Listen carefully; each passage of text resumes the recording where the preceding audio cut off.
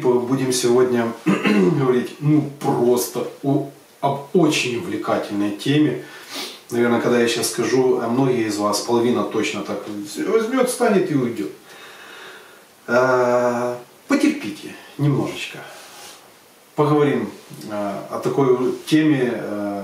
Она, наверное, уже, как говорят иногда, затертая до дыр, но в то же самое время – несколько э, э, все-таки аспектов я хотел бы донести именно э, и вложить в ваши уши.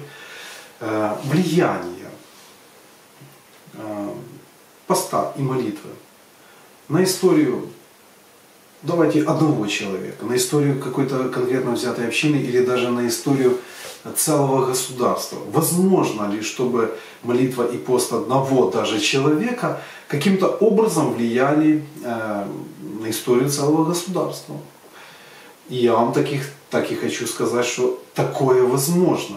И в Священном Писании есть ну, не бесчисленное количество, но все-таки несколько э, эпизодов э, в книге, они приведены как примеры и э, скажу откровенно мои наблюдения, и я думаю, вы согласитесь в своем большинстве, в том, что в области поста и молитвы, в современной церкви, э, в жизни современных христиан, ну, есть просто большой, э, скажем, урон, недочет в этом плане. Враг там поработал в этом поле очень хорошо, и сегодня для многих христиан пост и молитва являются, знаете, уделом каких-то особых духовных людей, специально обученных, которые должны э, нести это служение молитвенное или там даже пускай э, поститься каким-то образом. А они будут заниматься чем-то другим, тоже важным, служащим на расширение Царства Божьего, Царства Небесного.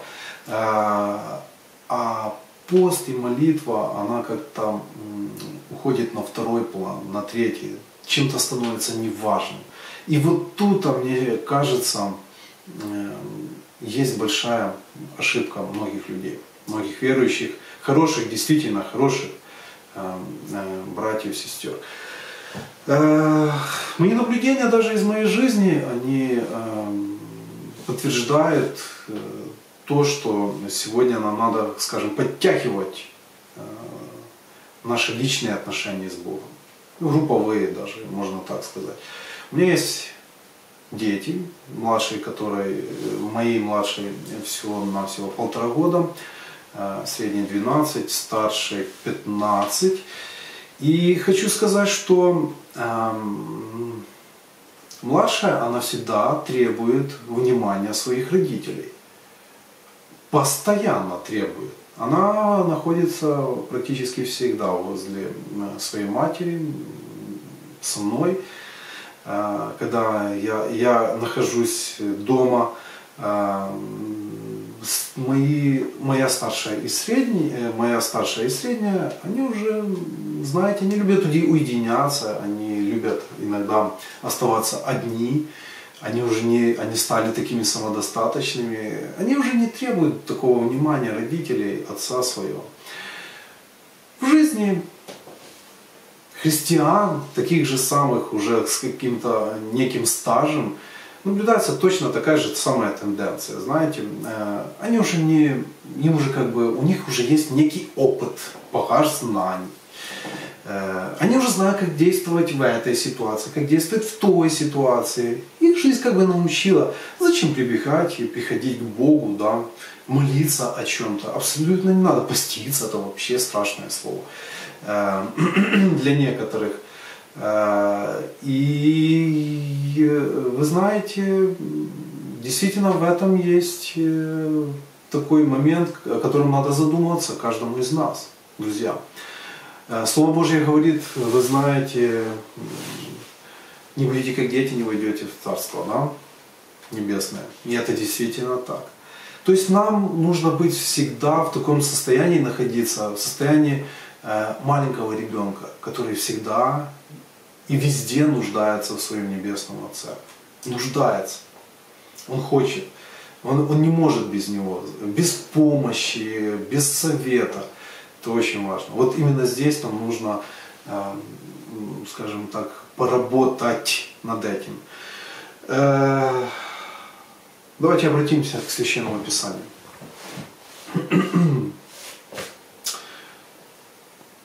Евангелие от Матфея, 26 глава, 41 стих, очень знаменитое место, и смотрите, здесь написано такое. «Бодрствуйте и молитесь, чтобы не впасть в искушение. Дух, дух бодр, плоть же немощна». Что будет, если мы не будем бодрствовать и молиться? Ну, давайте представим, это э, доказательство от обратного вы обязательно впадете в искушение. Друзья, если вы верующий человек, если вы э, обновленный человек, да, скажем так, если у вас нет молитвенной жизни, если вы не бодрствуете, не наблюдаете за собой, не блюдете своего внутреннего человека, друзья, вы однозначно, сто процентов доказано впадете в искушение. Я впаду в искушение такие минуты именно здесь это место, оно концентрировано, оно кричит каждому из нас. Эм, Ишуа, как бы обращаясь к своим эм, э, ученикам, апостолам, он говорит о том, что да, давление невероятное. Жизнь, она действительно дает, она, она просто всяческим образом старается каждого из нас сбить с ног. Знаете, мы, мы какую-то несем какую-то опасность для э, царства, царства противника нашего, да. И поэтому он всячески старается сбить, он старается вместить нас в свое информационное поле. Это э, война информации. Простите, что я так говорю, но это действительно так. Это, это война информации. Если мы не будем находиться в информационном поле Бога, мы однозначно, сто процентов будем находиться а, в информационном поле а, а, нашего противника. В этом мы можем понести огромнейший урон, друзья. И я вижу, как многие люди сегодня, христиане, хорошие, действительно, хорошие братья и сестры, благословенные, можно так даже сказать, они не понимают, почему в их жизни происходят некие вещи – Ответ прост. Бог не может поддержать нас, Он не может нас ободрить в минуту именно вот такого давления невероятного. Мы просто не приходим к Нему. Мы не просим и не имеем этой поддержки. Потому что, ну, не имеем, потому что не просим. Все очень просто. Действительно. А, и я считаю, что эм, в этом смысле история Соединенных Штатов Америки, она очень показательна. Давайте, э, скажем так, э, перенесемся на 150 лет назад. Э, во времена Авраама Линкольна, известнейшего, да, это такая неординарная личность, человек, как я считаю, большого сердца, это духовная личность, это христианин, это президент, это очень интеллектуальный, интеллектуально развитый э, мужчина, скажем так. И э, воззвание, которое он написал нации, интереснейшее. Интереснейший документ, я немножко попробую прочитать из того, что, о чем здесь говорится.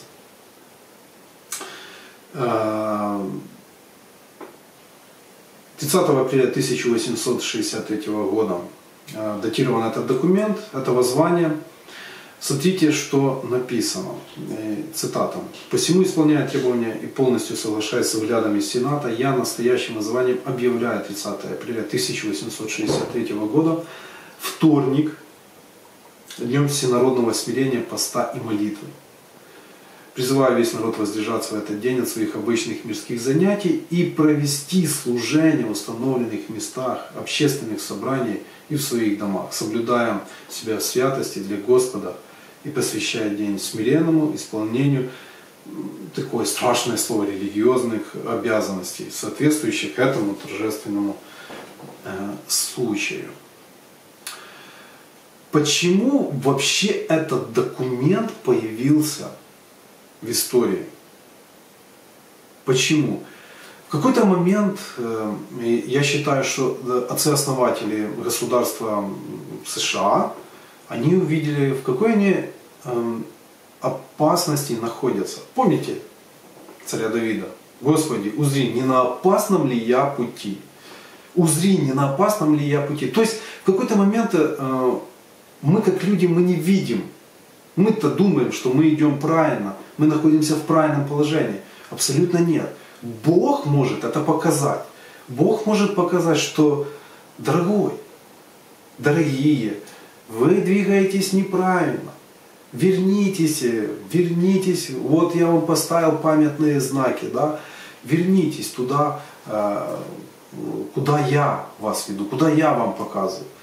И э, Авраам Линкольн, конкретно Авраам Линкольн, он как бы утверждает и говорит такие вещи. Мы умножились числом, возросли в богатстве и силе, как ни один народ. В заблуждение наших сердец мы самонадеянно вообразили, что все эти благословения мы обрели благодаря своей собственной мудрости и добродетели. Мы стали слишком самонадеянными, слишком возгордились, чтобы молиться Богу, который сотворил нас. Вот в чем это, вот это, вот такое вот воззвание. Я, честно, я бы просто был очень рад бы, если президент Украины, сегодняшний президент Украины, он сделал бы воззвание такое к нации. Правильно? Это, я считаю, это возможно бы на 180 градусов повернуло историю нашу. если народ бы откликнулся, э, это было бы большим благословением для жителей этой страны. Э, в Библии есть еще одна такая история. История из книги Ионы, вы все ее знаете, когда э, этого пророка Бог посылает в Ниневию, в столицу Ассирийской империи, да, самой могущественной на то время. Э, и мы знаем, как, э, как еврей, как израильтянин Иона относился именно к этому государству. Но Бог повелел и сказал, иди и скажи да, о том, что если они не покаятся, через 40 дней их просто уничтожу. Придет суд Божий произойдет что-то страшное с вами, с вашим государством, с вашими детьми. И, и мы знаем, как э, отреагировал э, царь э, ассирийский, мы знаем, как отреагировал народ. Э, это вообще это интересный момент. То, вот та наша реакция, сначала осознание того, что э, человек находится, государство находится Э, в некой проблеме, э, оно приносит благословение. Бог снимает, да, человек раскаивается, человек постится, человек, наверное, молится. Это интересный момент. Мы знаем вроде бы только Израиль, Божий народ, он знает Бога. Но здесь перед кем кается э, ассирийский царь? Что он делает? Он надевает вретище, он постится – поститься. Это меняет историю его государства, его личную историю. Э, это снимает э, суды Божьи э, с него, с его семьи. Это очень интересный момент. Мы должны также такими же самыми быть чуткими к этому. Поэтому я считаю, что такое внимание и такая роль поста, молитвы в нашей жизни, она очень огромна, друзья. Обратите внимание на то. Э, я просто как бы призываю вас к тому, чтобы приближаться к Богу. Молитва это что-то, это что-то уникальное. Это не просто, знаете, инструмент для того, чтобы влиять на, на историю. Абсолютно нет. В этом есть что-то интимное. Э, то интимное, которое делает меня особенным. Э, в глазах других людей, э, в глазах даже Бога. Э, через молитву я просто освещаюсь. мы должны вернуться, действительно вернуться. Я практически уверен, мы забыли, как даже как, как молиться, друзья. Молитва «Отче наш», самая еврейская молитва, которая только может быть, она, вы знаете, я когда прочитал, и до меня просто дошло. Апостолы, которые приходят э, к Ишу, они говорят, научи нас молиться. Странное дело. Евреи от евреев, которые просто росли они, они, они, они родились, э, они учились, э, они знали о молитве, наверное, самого, самого своего раннего детства. Э, они видели, как это делают другие. Возможно, когда они, некоторые из них были учениками Иоанна Христителя, да, Баптиста, потом стать становятся учениками Ишу, они приходят и говорят, научи нас молиться. Друзья, э, своей самонадеянности я вам скажу так. Нам просто также надо учиться молиться. Этому нужно учиться. А как это делать? Делать это только, э, возможно, только в практике. На практике. Мы должны практиковать молитву. Э, мы должны в молитве приходить к Богу и понимать, что Бог э, через молитву, э, Он делает что-то невидимой своей рукой, э, даже иногда не, невидимо для нас самих, но Он что-то делает. Он влияет, меняет нас, меняет наше внутреннее состояние, а потом мы можем уже влиять на, на свою семью, на своих детей, Поверьте, ваша жизнь кардинально просто меняется. Это, это видно. И в первую очередь это видно даже тем, которые вас окружают. Вам не видно. Но те люди, которые говорят, с тобой что-то случилось. Я практически уверен, это именно, именно роль э, поста и молитвы, она вот она сыграла ключевую Э, ключевую роль в нашей жизни. Э, я также видел других людей, которые старались посредством поста и молитвы влиять на, на, на историю, скажем так, с силой заставить Бога делать что-то. То, что мы считали нужным, правильным, то, что мы хотели. Э, на Бога нельзя влиять таким образом. Никогда. Многие люди разочаровываются. Они говорили, у меня есть э, знакомый, который пять дней э, сухой пост соблюдал, то есть не пил и не ел, представляете, да? Он хотел достигнуть или требовал от Бога какого-то ответа. И в конечном итоге Бог ему не ответил, он разочаровался. Это не самая главная цель э, через э, такие, скажем, шантаж э, выбить у Бога нам нужный какой-то результат. Ни в коем случае не, не пробуйте этого, этого делать. Это очень опасный путь, который ну, приведет нас к какому-то разочарованию. Я практически в этом уверен. Молитва это то, что помогает, помогает увидеть э, правильное направление, в каком, э, в каком мы должны э, двигаться. Бог нас действительно ведет через молитвы, друзья.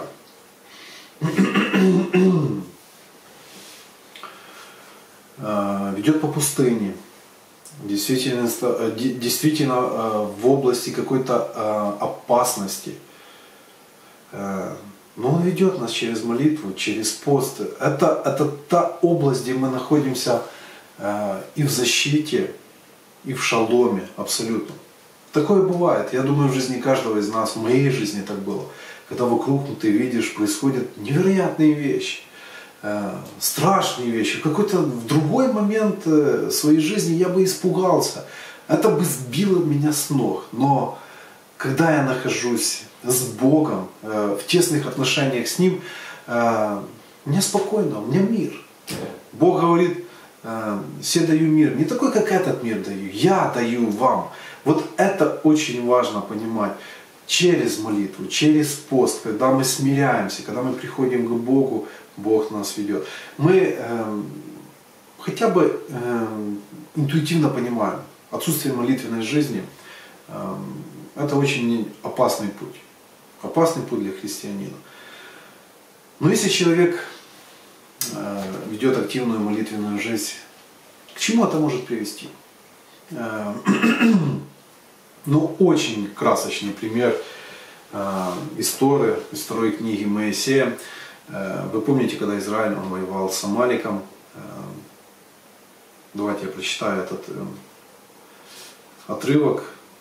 И пришли амеликитяне и воевали с израильтянами в Рефидиме. Маше сказал Иошуа бен Нуну, выбери нам уже и пойди сразись с амеликитянами, завтра я стану на вершине холма.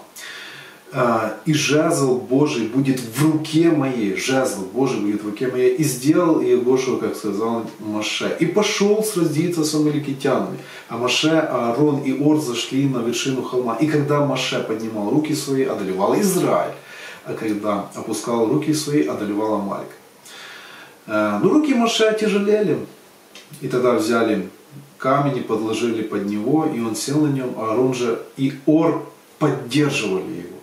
Один с одной стороны, другой с другой стороны, и были руки его подняты до захождения солнца. И не изложил Егошу Амалика, и народ его острием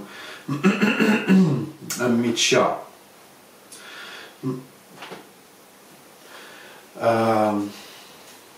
Uh, знаете, один еще пастор сказал одну такую вещь. Он сказал, Бог делает что-то только в ответ на нашу молитву. Многие христиане живут таким, такой жизнью, верующие сегодняшние, современные люди, они как бы, э, они говорят, да, Бог знает все, Он знает все мои мысли. Таки да, таки аминь. Он знает все наши мысли, но Бог почему-то должен сам вот знать, прочитать наши мысли и сделать соответственно тому, что у нас находится вот здесь. Но мы не отдаем это Богу. Мы прячем это от Бога. Бог будет делать действительно в ответ только на то, когда мы будем приходить к Нему, и будет происходить какое-то действие. Это произошло с Израилем. Маше пошел и отдал э, это Богу. Мы провозглашаем, мы говорим, что да, мы верим в силу молитвы. Мы говорим об этом, мы э, декларируем это, но мы этого не демонстрируем. В, нашей, э, в наших словах нету сил, нету э, действия. Вот почему многие сегменты нашей жизни, области нашей жизни, они находятся, скажем, в таком запустении. Я хочу сказать одну такую вещь, что э, Бог почему еще, скажем, терпит или э, еще принимает землю? Да потому что мы есть на этой земле. Мы это соль, которая э, позволяет, э, скажем так, ос осаливает эту планету, да, э, еще всех делает пригодной, скажем так, э, в руках Господа. Бог принимает именно поэтому эту землю. Таким образом. Э, послание Колосинам апостола Шауля, 4 глава 6 э, стих говорит, «Слово ваше да будет всегда с благодатью приправлено солью, дабы вы знали, как отвечать каждому». Э, знаете, я многих слышал проповедников, я многих слышал действительно очень грамотных, интересных людей. Но когда ты слушаешь э, какое-то слово, говорит правильно человек, но ты не принимаешь его. Потому что он говорит правильные вещи, но он не живет так. Это как-то интуитивно э, чувствуется. Когда человек говорит о том, о чем он знает, о том, э, что он переживает, ты это принимаешь. Ты эту пищу принимаешь. Она действительно, она со вкусом, она приправлена солью. Друзья, поэтому даже если мы э, свидетельствуем кому-то, нашим ближним, соседям, я не знаю, родственникам, кому угодно, э, правильные вещи, но мы не живем таким образом. Люди это интуитивно это понимают. У нас нет того э, фундамента, да, который мы подкрепляем наши слова. Они, э, наши слова, они не приправлены э, теми отношениями, которые должны быть у нас с Богом. Мы соль земли. Это действительно так. В книге Иова 6 главе есть как бы риторический вопрос такой, едят ли безвкусное без соли? Ответ очевиден. Если пища безвкусная, ей может придать вкус именно соль. Эм, именно так. И, как я сказал раньше, мы являемся для Бога той солью. И именно мы придаем, даем этой безвкусной земле э, какой-то вкус. И без нас бы э, для Бога не было бы ничего приемлемого, да, то, что Он бы готов был принять э, на этой планете. То есть, ну, как бы, только потому что мы есть, Божьи суды не совершаются, ну, просто вот в данный момент, друзья. Потому что есть ты, есть я. Бог милует вообще всех, каждого из нас. Я практически в этом уверен. Да, есть много других мест Писания, которые говорят о том, что Бог э, возводит солнце и над э, добрыми, и над злыми и тому подобное. Ну, друзья, я все-таки уверен, что э, вот такой вот красочный пример э, из книги э, Берешит, да, вы помните, когда слух о беззакониях Содома и Гомора, он э, ну, донесся до Бога, и Бог не зашел на землю для того, чтобы убедиться, действительно ли это так. И он идет со своим Э, верным другом Авраамом, да, и э, у них происходит как бы такая торг такой, как бы интересный момент. Вы знаете, э, почему интересный момент? Потому что Авраам, он настаивает на том, что он говорит как бы Богу, слушай, напоминает Богу о его же о его личностной характеристике. И говорит, ну не можешь ты, Бог праведный, погубить нечестивого грешника вместе с праведным. Э, э, и Бог говорит таки да. Это действительно так. Если 50 человек я найду, как ты просишь э, в этом городе, я не уничтожу этот город. И, и вы знаете, вы помните, Авраам доторговался до 10 человек. Да? Сегодня мы это называем этим 10 этих человек, этих праведников. Это минимальное количество, это миньян, необходимое для того, чтобы э, ну, создалась синагога да, какая-то.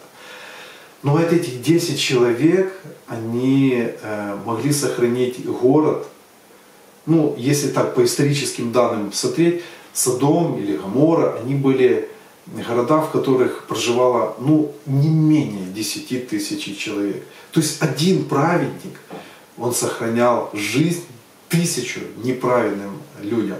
Друзья, я практически уверен, я, я утверждаю, что э, некоторые общины и церкви еще существуют, потому что в числе э, э, членов этих общин находятся еще вот такие люди, которые стоят правильно перед Богом. Их положение, они полностью отдали себя Богу. Они клинопреклонные, они всегда находятся перед Богом, они молятся, они, они просят за себя, за тех, кто вокруг. И те все, кто вокруг, они пользуются плодами этих вот праведных э, людей. Я бы хотел, чтобы действительно количество этих праведных в наших церквях, в наших общинах э, а, становилось больше и больше. Ты можешь быть таким. Каждый из нас может быть таким, тем ходатаем, да, который будет э, э, стоять перед Богом. Это очень важно. Скажу одну такую вещь. Вот из того разговора, который Бог дает понять, что Он принимает принцип, сформулированный Авраамом. А, как важно, чтобы все верующие понимали это. Если мы сделались праведными через веру в Иешуа, если наша жизнь является э, истинным выражением э, нашей веры, то Бог никогда не допустит, чтобы мы попали под те суды, которые Он приготовил для, для неверующих. Смотрите, как бы э, то, что происходит, вот иногда и с праведным, и неисправедным, оно, оно внешне очень похоже.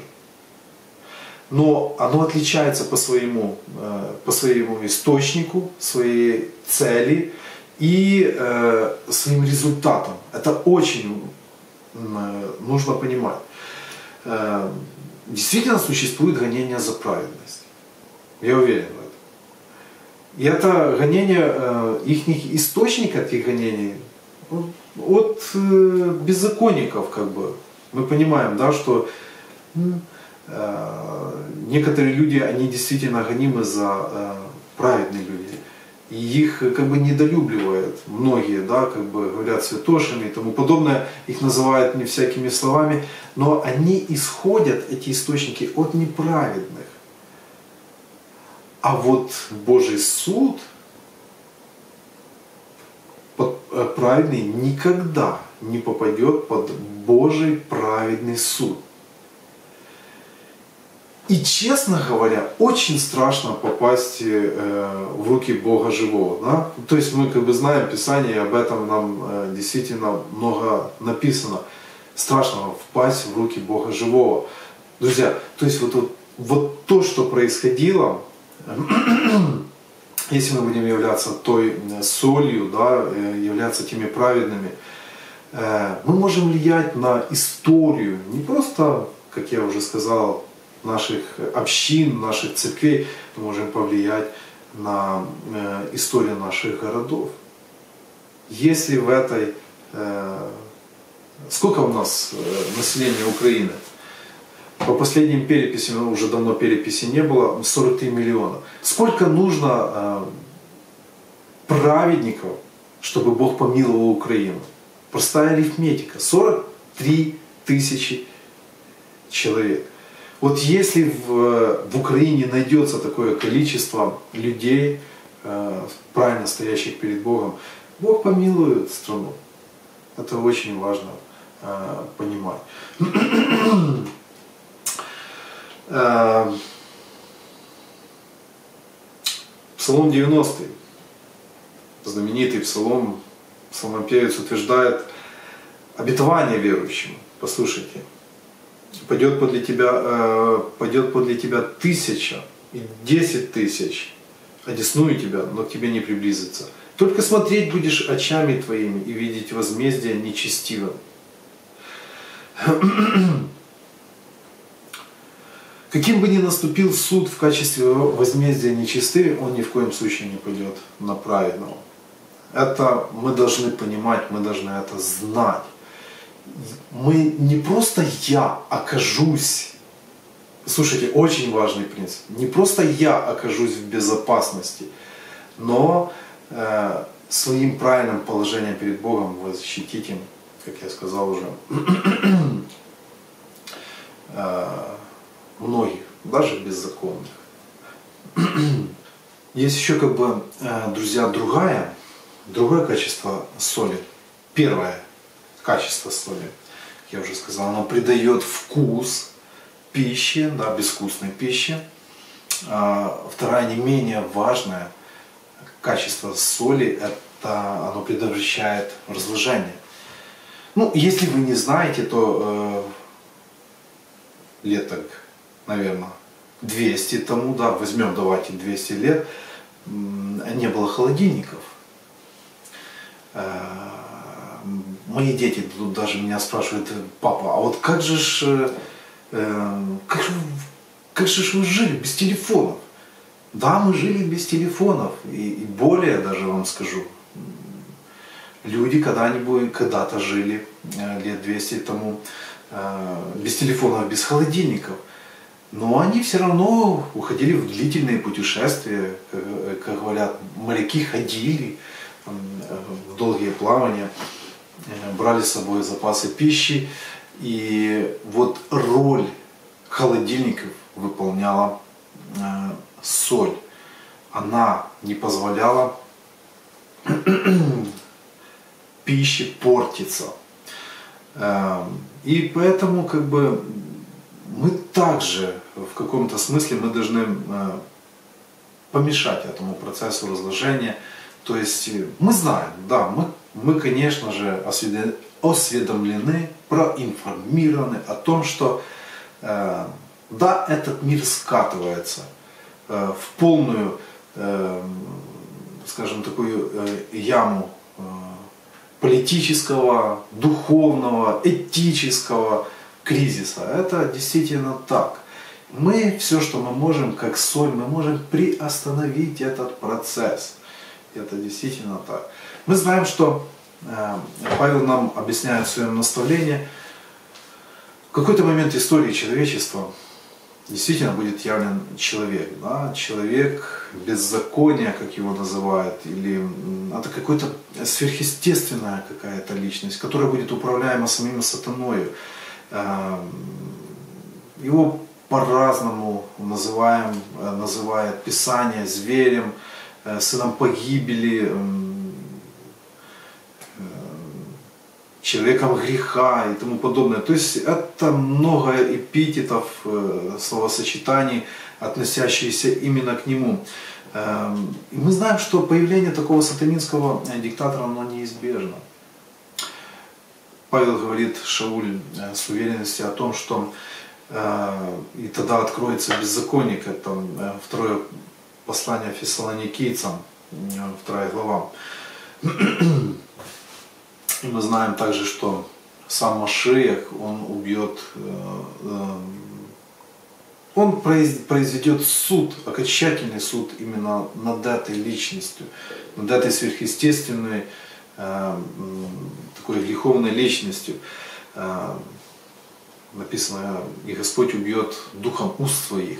Вообще интересное место, я как бы маленькое такое отступление хотел бы сделать. Духом уст своих, это как бы дуновением уст своих – я практически уверен, что Бог, э, наш Господь, наш Машеях, э, наш Царь, наш Спаситель, Он, он расправится с ним очень просто.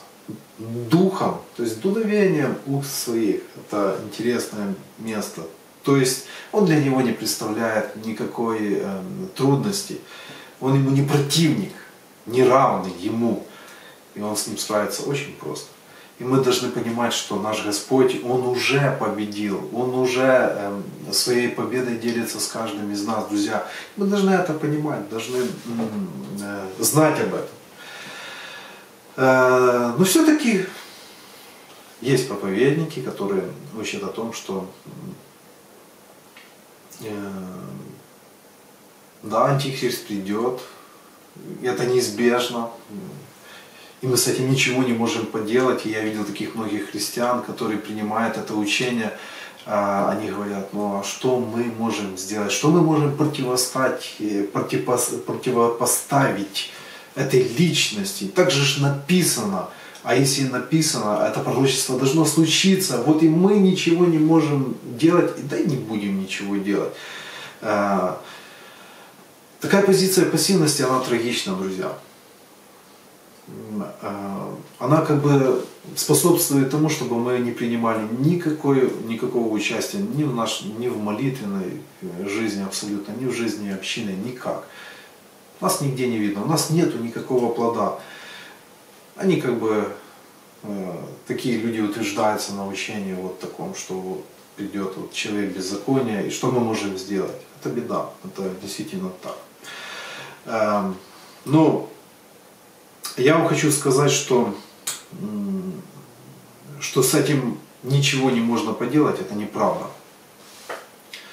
Э, есть в настоящее время сила, которая противостоит э, тому, чтобы дух Антихриста, скажем, он пришел в такую полную силу. Давайте мы прочитаем то, что пишет Шуль нам во втором э, послании Фессалоникийцев, вторая глава, ну, такой в современном переводе, давайте так прочитаем. «И ныне вы знаете, что сдерживает его, человека греха, скажем так, пока он будет обнаружен в свое время. Ибо тайная сила беззакония уже в действии. Только тот, кто удерживает его, теперь будет продолжать его удерживать до тех пор, пока не будет взят. Это удерживающая сила, которая препятствует полному и окончательному водворению э, Антихриста. Эта сила называется Руах и Кодыш, мы знаем, это Дух Святой. И вот та, э, это не сила, неправильно. То есть э, эта личность обладает этой силой. И вот эта личность, которая обладает этой силой, она пребывает эм, в церкви, да, э, в его детях, в детях Божьих. И цель как бы вели, вот, великого служения э, Руаха Кодыш, Духа Святого, э, это приготовить совершенное тело для жениха. Вот в чем. Когда он это сделает, после завершения его работы,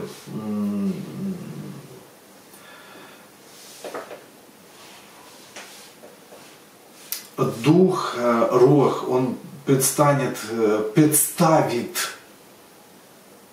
невесту э, перед женихом. И вот как только служение Святого Духа закончится внутри церкви, он снова будет взять от земли, забрав с собой завершенное тело Мессии.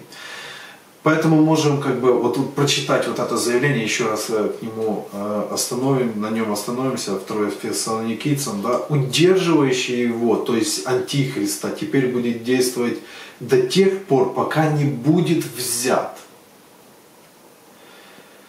Э, противоборство Святого Духа и Антихриста написано в первом послании Иоанна, давайте мы откроем его. Первое послание Иоанна.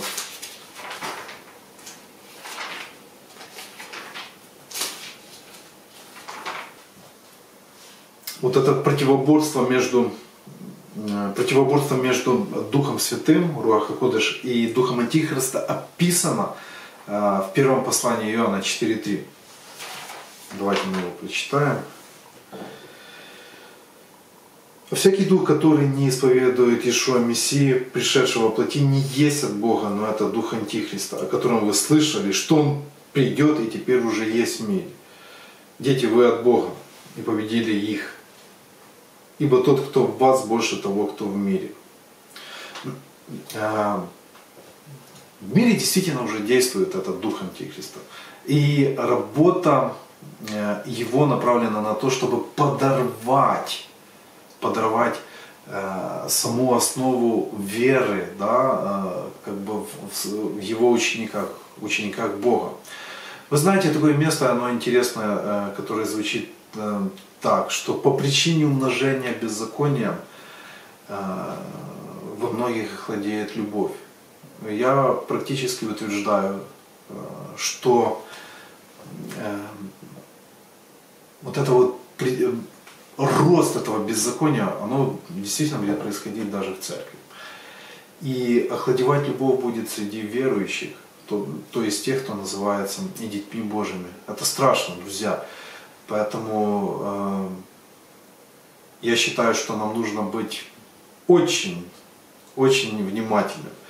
И последствия провала такого, если мы все-таки примем да, вот эту парадигму о том, что мы ничего не можем сделать, вот эту ошибочную э, э, версию, скажем так, которую э, Дух Антихриста сможет в некоторых в, вложить в головы, э, последствия такие провала, это просто катастрофа. Потому что э, как соль мы несем двойную, мы просто несем двойную ответственность. Это не просто какие-то пере, пре, преимущества, это ответственность, которую мы несем перед а, э, и людьми, и перед Богом. Во-первых, благодаря нашему присутствию Бог не лишает землю своей милости. Вот это нужно понимать. А, во-вторых, силой Святого Духа, Руаха Кодыш, у нас эм, мы сдерживаем именно силой Э, Руаха Кодыш, мы сдерживаем процесс разложения э, и до назначенного Богом срока, я считаю. Да, этот, этот процесс, он произойдет, но до тех пор, пока будет э, не, взят, э, не взята церковь. Да? Э, осуществляя эти э, цели, церковь выполняет как бы роль барьера препятствует осуществлению крайне амбициозных целей Духа Антихриста. То есть он хочет подчинить своей власти мир. Мы стоим на, на, на препятствии, мы становим, мы есть этим барьером. Если мы не выдержим, это, это будет э, по-настоящему. Это катастрофа не просто для каждого из нас, это катастрофа э, для мира. И я уверен, что работа Духа Антихриста направлена, Антихриста, она направлена на то, чтобы мы отступили. Вот слово отступление э, во втором послании фессалоникийцев, оно имеет как бы второе подоплеку, оно второе имеет э, свое синонимическое значение, это вера отступления, вера отступничества. И пока церковь стоит твердо, и бескомпромиссно, простите, она в силах помешать окончательному приходу э, Антихриста. Э, друзья, у нас существует всего лишь навсего два пути. Или победить, или быть побежденным. Другого не дано. Хочу сказать, что мы, э, мы можем победить, это действительно, побеждая написано зло добром. Это единственный путь, к которому э, Бог нас призывает. Никаким образом мы э, не стоим на том, чтобы говорить и утверждать, клин клином вышибает и тому подобное. Э, друзья, но все это мы можем сделать только тогда, когда мы будем по-настоящему близко находиться к престолу Божьему. Никакими другими путями мы не в состоянии этого сделать. Если мы будем находиться в близости к Богу, а я практически уверен, что э, очень мало христиан, э, они понимают, э, что можно служить Богу и постом, и молитвой. Я бы хотел вам задать такой вопрос. Вы когда-нибудь знали, знали то, что и постом, и молитвой можно служить Богу. Такой персонаж интересный в Библии, давайте мы опять обратимся к Слову.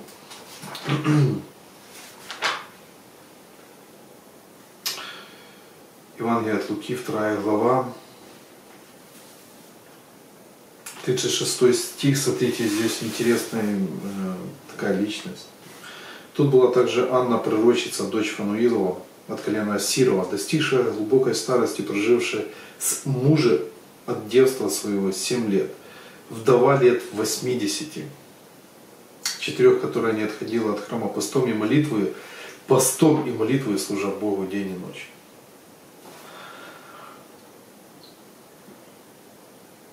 Интересный момент. У нас всегда как бы есть такое понимание, служить Богу можно что-либо делать, да, кормить бедных, э, жертвовать деньги, э, подметать, э, играть, петь, танцевать. У нас никогда не ассоциировалось служение Богу вот таким вот образом, постом и молитвой. Женщина, которая действительно не отходила от храма, она этим служила. Я хочу сказать, что нам не хватает катастрофически такового служения. Нам нужно э, всегда предстоять перед Богом за себя, за, э, за других людей. Друзья, именно к этому я призываю вас, нас, каждого. Э, нам нужно заполнить эту брешь, которая появилась в церкви. Э, почему-то несправедливо мы относимся к тому, чтобы к молитве, к посту. Давайте в этом смысле мы станем той солью, тем царством, священников, да, как бы, которые будут священно действовать э, в области молитвы, в области поста. Это очень важно.